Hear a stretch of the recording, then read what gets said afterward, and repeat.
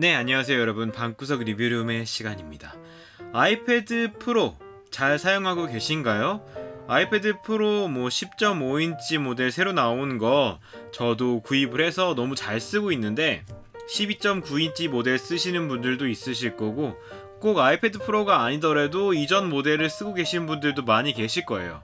그런데 고민들 중에 하나가 비싼 돈 들여서 주고 산 건데 좀 더 잘 쓰고 싶다. 좀, 좀 더 활용도를 높이고 싶다 생각하시는 분들 계시죠? 저는 아이패드 프로를 굉장히 잘 쓰고 있다고 생각하는 편이어서 여러분들께 제가 추천하는 어플들 오늘 다섯 가지 가르쳐 드리도록 하겠습니다. 첫 번째로 어피니티 포토라는 어플입니다. 이 어플은요, 말 그대로 아이패드용 포토샵이에요. PSD 파일, 포토샵 전용 파일이죠. 그 파일을 그대로 읽어와서 바로 작업을 할 수가 있어요. 지금 이 파일 같은 경우에도 인터넷에서 다운받은 포토샵 프로젝트거든요. 이 파일 같은 경우에도 완전하게 완벽하게 읽어지고요. 예를 들어서 지금 포토샵 같은 느낌이 나는데 layer 작업 같은 경우에도 하나도 깨짐없이 완벽하게 지원을 합니다. 그래서 이렇게 이렇게 layer 같은 경우에도 완벽하게 지원을 하는 걸 알 수가 있죠. 또 여러분들이 디자인을 하시거나 그래픽 작업을 하실 때면 중요한 게 이 RGB 파일이냐 CMYK 모드가 되어 있냐 이게 굉장히 중요한데 그런 부분까지도 완벽하게 전문가적으로 지원을 합니다. 그 외 세세한 설정들 뭐 다 가능해서 거의 포토샵 같은 수준이에요. 또 중요한 게 디자인 하실 때 중요한 게 어, 폰트가 중요하죠. 외부 폰트를 난 써야 되는데 이 내부 안에 들어있는 폰트 갖고는 택도 없네요 라고 하실 텐데 이 Affinity Photo가 좋은 게 인터넷에서 여러분들이 쓰시는 폰트 파일을 어, 사파리로 그 다운받으시면 이 Affinity Photo로 바로 집어넣을 수가 있어요. 그래서 이 폰트 탭을 통해서 추가 폰트를 그냥 바로 사용하시면 돼요. 그래서 거의 포토샵 같은 기분으로 거의 완벽하게 쓸 수가 있기 때문에 저도 굉장히 애용하고 있거든요. 이 파일 갖고 아, 이 프로젝트 기능을 갖고 저는 유튜브에 이 thumbnail을 작업할 때 보통 아이패드만 들고 나가서 어, 편집도 하고 이걸로 작업해서 작성해서 올리고 있어요. 두 번째는요. Cubasis라는 프로그램입니다. 이 Cubase라는 어플, 어, Cubase라는 프로그램 들어보신 적 있으시죠?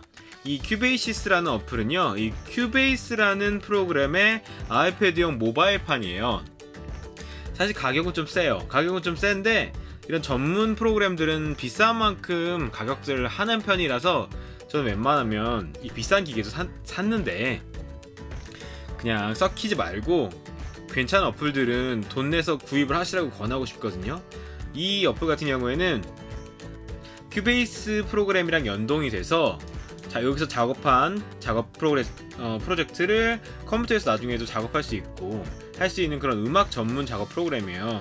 그래서 웬만한 스케치 같은 거를 다 쓸 수가 있고 또 좋은 점이 어, 녹음을 하셔야 되는 분들이라면 24비트를 프로들은 쓰거든요. 이 어, Cubasis 같은 경우에는 24, 48, 96까지도 이 sample rate와 bit resolution을 프로 수준으로 완벽하게 지원을 해요. 그래서 여기다가 외부 인터페이스를 물리면요. 외부에서 바로 그냥 녹음 작업 따시면 돼요.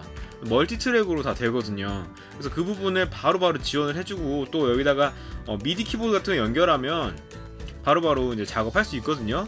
그래서 예를 들어서 지금 뭐 여기 지금 패드가 들어있는데 드럼 지금 사운드 같은 경우는 이렇게 연결이 다 되어 있고요.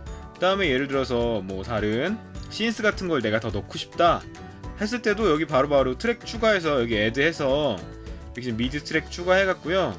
여기 지금 rock kit으로 되어 있는데 이거 지금 이런 식으로 악기 변경해갖고요. 내가 원하는 작업으로 바로 그냥 어, 입히면 돼요. 그래서 스케치 작업 할 때 바로바로 외부에서도 바로 할 수 있거든요. 지금 이렇게 어, 키로 바꾸면 이렇게 키가 나와서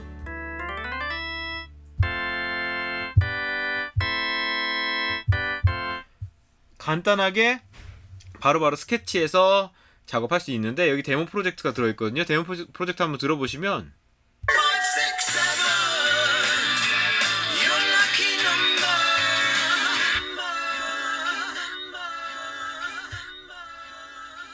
네 이런 식으로 거의 컴퓨터 Cubase에 알짜 기능들은 다 들어있어요. 그래서 sequencing 같은 거 밖에서 편하게 하실 수 있는 음악 프로그램에 제대로 된 어플이 Cubasis입니다. 네, 다음은요. 세 번째로 LumaFusion이라는 어플인데요. 이 어플은 제가 요즘 정말 정말 자주 사용하고 있는 어플입니다. 어, 아이패드용 프리미어라고 불러도 손색이 없을 정도예요. 굉장히 만족하면서 쓰고 있는데 기본적으로 동영상 편집을 해보신 분들은 아시겠지만 컴퓨터 사양이 굉장히 좋아야 돼요. 그래서 옛날 컴퓨터 쓰시는 분들은 사실 여러가지 편하게 작업하기 불편한데 이 아이패드 프로의 동영상 처리 성능으로 작업을 해서인지 어, 너무너무 쾌적하게 작업이 되더라고요. 지금 제가 이 동영상을 올린 적이 있었는데 이 4K죠. 이 4K 작업 같은 경우에도 이 루마 퓨전으로 별 문제가 없이 너무 잘 돼요. 더군다나 이 작업 하실 때 보면은 자막도 올려야 되고 음악도 올려야 되고 여러 가지 색 보정까지 심지어 해야 되는데 그 기능들이 이 루마 퓨전으로 다 됩니다. 예를 들어서 지금 이 클립의 정보 같은 경우에도요. 이 4K라고 나오죠. 그 다음에 AAC고 30프레임이다. 아이폰 7 플러스로 찍었다. 위치 정보까지 어, 프로 수준으로 완벽하게 나오고요. 그 다음에 이 부분 자르는 것도 이 가위 이용해서 자르면 되고 믹싱 기능도 지원합니다. 그래서 BGM 같은 거 올렸을 때 바로바로 믹싱 할 수 있고요. 그 다음에 자막 같은 경우나 오버레이션, 어, 나레이션 그런 거 바로 넣을 수 있고 여기 텍스트 같은 경우 바로바로 거의 문제가 없이 그냥 너무너무 가볍게 올라와요. 그래서 이거 이렇게 바로 추가해갖고 여기다가 바로바로 입히면 되고요. 또 좋은 점이 색 보정이 사실 컴퓨터에서도 빡세요. 컴퓨터에서도 자원을 많이 먹는 그 기능인데 실시간으로 바로바로 색 보정 들어갑니다. 색 보정 바로바로 들어가요. 이 상태에서 기본적인 명도, 채도, contrast 바로 바로 실시간으로 바로 볼 수 있어요. 이 정도로 작업이 너무너무 괜찮고 어, 편리하게 되는데 이 정도 수준인데다가 export가 export가 그냥 요, 그 아이패드 일반적인 어플에서는 디테일한 설정이 좀 불가능한데 이 어플 같은 경우에는 거의 프로 수준으로 지원을 하고 있기 때문에 어, 완벽하게 자기가 원하는 대로 설정을 할 수가 있어요. 예를 들어서 그냥 저장을 한다 치면 이렇게 4K인데 30프레임이고 화질이 최고 extreme까지 지정이 가능하고요. 그 다음에 음질 같은 경우에도 48까지 프로 수준으로 지원이 가능해요. 그래서 이런 식으로 다 자기가 지정을 해줄 수가 있기 때문에 이 설정으로 바로 공유를 할 수가 있습니다. export 시간도 제가 컴퓨터에서 쓰는 것보다 훨씬 더 빠르기 때문에 저는 어, 요즘에 거의 이걸로 편집을 하고 있어요. 이것도 진짜 돈값을 한다. 너무 어, 아깝지 않다라고 생각하는 어플에서 여러분들께 강추드립니다. 다음으로는요. 아이캡 모바일이라는 웹브라우저입니다. 사실 사파리가 너무 괜찮기 때문에 대부분 사파리로만 쓰시는 분들 많을 텐데 저는 이 아이캡 이 브라우저를 굉장히 애용하고 있어요. 이 아이캡 브라우저가 좋은 점이 여러 가지 부가 기능들이 잘 되어 있어요. 그래서 아쉬웠던 사파리에서 아쉬웠던 부분들을 이걸로 채울 수가 있거든요. 예를 들면 뭐 바로바로 번역을 해야 된다거나 할 때 여기 지금 이렇게 모듈들이 들어있어요. 그래서 여기서 지금 transl, translation 눌러주면 바로 구글로 연결해서 어, 모듈 번역을 해준다든지 그 다음에 이런 부가적인 웹에서 다른 외부 서비스들이 지원하는 것들을 이 안에 다 모아놨어요. 그래서 그 다른 서비스를 이용할 필요가 없이 이 안에서 다 해결할 수 있게 여러 가지 모듈들이 들어있다는 점이 저는 굉장히 마음에 들고요. 그 다음에 또 하나는 이렇게 제스처를 지원을 해서 여기다가 제스처판에다가 제스처를 그리면은 어, 컴퓨터에서 쓰는 것처럼 마우스 쓰는 것처럼 좀 편하게 뭐 좌우 왔다 갔다 한다든지 그런 어, 제스처 기능들을 쓸 수가 있고 결정적으로 제가 좋아하는 기능은 사파리에서는 다운로드를 받을 때 그 다운로드의 퍼센테이지가 안 보여요. 어느 정도 지금 받고 있다라는 표시가 안 돼 있어서 컴퓨터랑 다르게 너무 불편해요. 근데 이거는 다운을 받을 때 바로 이 다운로드 매니저가 있습니다. 이 다운로드 매니저를 통해서 이 기기에 컴퓨터처럼 다운로드를 몇 퍼센트를 받았고 이 다운로드된 파일들을 관리해 줄 수 있는 항목들이 이 안에 있어서 바로바로 이 안에서 관리를 하고 다른 어플로 연결해서 넘겨줄 수가 있고 또 클라우드에 저장을 한다거나 할 수 있는 다운로드 managing 기능이 아주 관, 어, 완벽하게 들어있기 때문에 저는 사파리의 부족한 면들을 이 아이캡 모바일로 채우고 있어요. 마지막으로 다섯 번째 제가 가장 많이 쓰는 어플은요. 굿리더라는 어플입니다. 사실 워낙 유명해서 너무 많은 분들이 쓰고 계신 어플이잖아요. 이 어플은 너무 완소 어플이기 때문에 그래도 이 아직 안 쓰시고 계신 분들이 있다면 음, 저는 이 어플도 추천해드리고 싶은 건데 사실상의 파일 관리자죠. 여러 가지 파일들을 관리해주는 부분들이 아이패드나 iOS는 조금 폐쇄적이잖아요.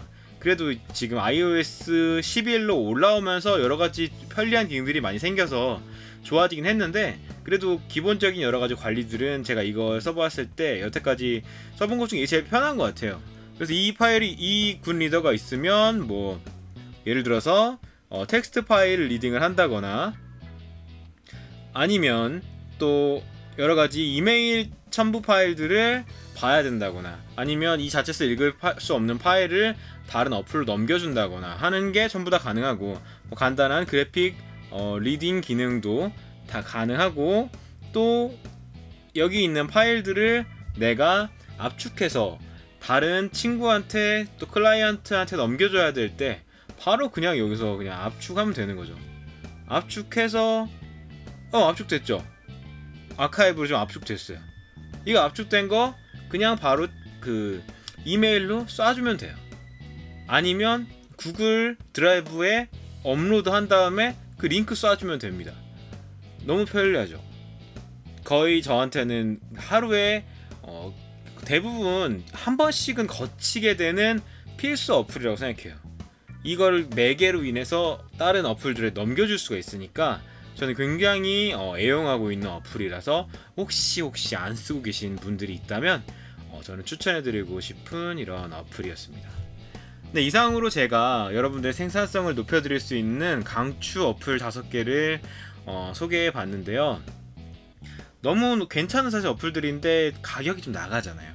근데 어쨌든 비싼 기계니까 이 기계의 성능을 끌어낼 수 있는 어플들은 필수적이라고 생각해요.